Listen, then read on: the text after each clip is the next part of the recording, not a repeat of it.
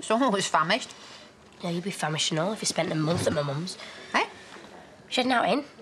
If I wasn't shopping, I was cleaning. And if I wasn't cleaning, I was just listening to her droning on. It must have been nice to see her, though. No, I just felt like a carer.